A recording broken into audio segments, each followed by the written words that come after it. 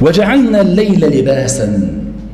الليل لباسا يغطي الدنيا بالظلام يلبس الدنيا دي يلبس الدنيا كلها ظلام. طب والظلام ده فيه الظلام ده فيه سكون وفيه راحة. والحركة العمل وال- والشغل بتنخفض لذا قال بعدها وجعلنا النهار معاشا. والنهار فيه الضوء وفيه الحرارة فيه الشغل وفيه العمل. يبقى ربنا جعل الليل لإيه؟ الليل لسكون الحركة. إنك تجم نفسك والنهار للعمل والشغل. تخيل الدنيا كلها ليل. ما عشان تعرف نعم ربنا عليك لازم تعرف ضدها إيه. قال الله جل وعلا قل أرأيتم إن جعل الله عليكم الليل سرمدا إلى يوم القيامة. يعني ليل مفيش فيه نهار. متواصل. من إله غير الله يأتيكم بضياء. مين اللي هيجيب لك ضياء غير الله سبحانه وتعالى؟ مين ده؟ ها؟ أفلا تسمعون؟ أنتم مش سامعين الكلام ده ومش مش عاقلينه يعني ولا إيه؟ قل أرأيتم إن جعل الله عليكم النهار سرمدا إلى يوم سرمدا يعني متواصل إلى يوم القيامة. من إله غير الله يأتيكم بليل تسكنون فيه في سكن وسكون. أفلا تبصرون؟ إذا تعاقب الليل والنهار ده عشان الناس تعرف الزمن ولا لأ؟ طب افرض الدنيا كلها ليل تعرف الزمن إزاي؟ ولا الدنيا كلها نهار؟ هي دي السنة اللي ربنا سنها ولذلك كان من سنة النبي صلوات الله وسلامه عليه أنه كان إذا صلى العشاء تحدث مع أهله ساعة يعني مقدار من الزمن ونام عليه الصلاة والسلام. إيه اللي بيحصل بقى عند الناس دلوقتي؟ وعند الشباب خصوصا. الليل بقى نهار والنهار بقى ليل والدنيا والدنيا كركبت على الناس. يعني إيه؟ يعني هو طول الليل صاحي. ويجي في النهار اللي هو وقت الجد والعمل والكتاب ده ينام. انت عارف الكلام ده بيعمل إيه في الناس؟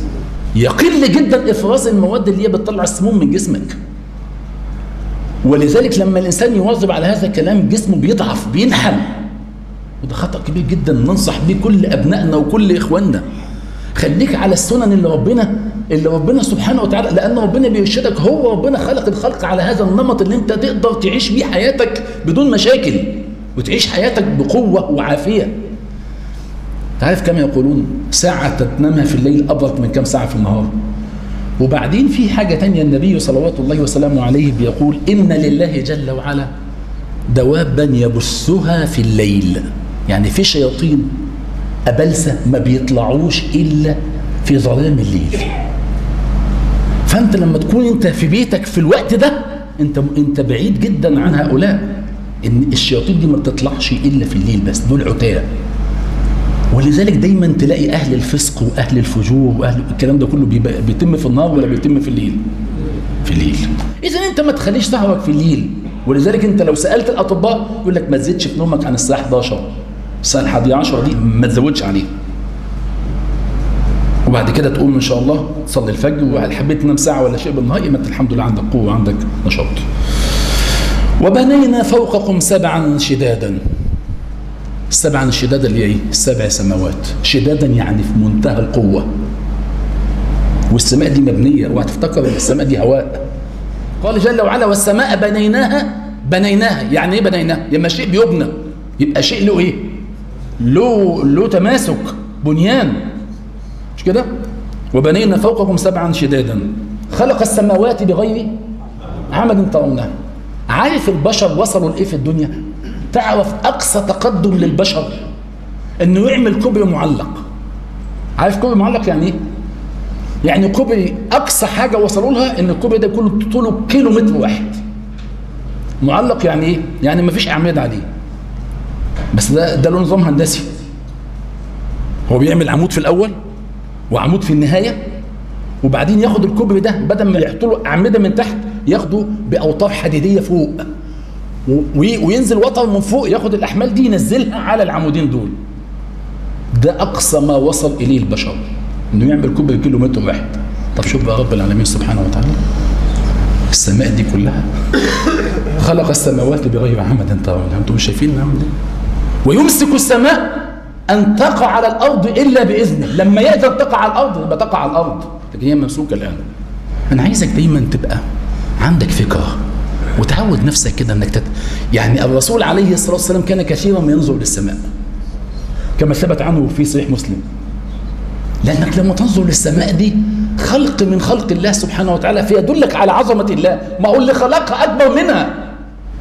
ولذلك قال الله جل وعلا وما قدر الله حق قدره والأرض جميعا قبضته يوم القيامة. يبقى, يبقى ربنا له قبضة أكبر من الأرض. والسماوات مطويات بيمينه. سبحانه وتعالى عما يشركون. وبنينا فوقكم سبعا شدادا. شدادا قوية اللي هي السماوات. سبع سماوات. والأرض سبعة ولا خمسة؟ الله الذي خلق سبع سماوات ومن الأرض مثلهن. يبقى في كمان زي ما في فوق في سبع سماوات في سبع أراضين هنا. دي اللي انت شايفها دي أول أرض في سبع أراضين. ومن الأرض مثلهن يتنزل الأمر بينهن. إيه يتنزل الأمر بينهن؟ أمر الله جل وعلا نافذ من السماء السابعة إلى الأرض السابعة. أمر نافذ في كل الكون ده كله. يتنزل الأمر بينهن لتعلموا أن الله على كل شيء قدير. وأن الله قد أحاط بكل شيء علما. وجعلنا سراجا وهاجا. السراج المصباح اللي, اللي, اللي بيضيء لك نور. وهاج يعني يعني بيطلع منه حرارة. إيه بقى السراج الوهاج ده؟ الشمس. ضوء مع الضوء معه حرارة. مش كده؟ خلاف القمر. ها؟ هو الذي جعل الشمس ضياء والقمر نورا. ليه ربنا قال للشمس ضياء؟ ضوءها ده فيه إيه؟ حرارة. طب والقمر؟ لا نور. والشمس دي يا عم المخلوق الصغير ده. إحدى مخلوقات الله اللي بتنور الدنيا كلها. وتنور الدنيا وتفيد أجسام الناس وتفيد عظام الناس ومعايش الناس كلها مرتبطة إن الشمس ربنا عز وجل سخرها للناس كلها.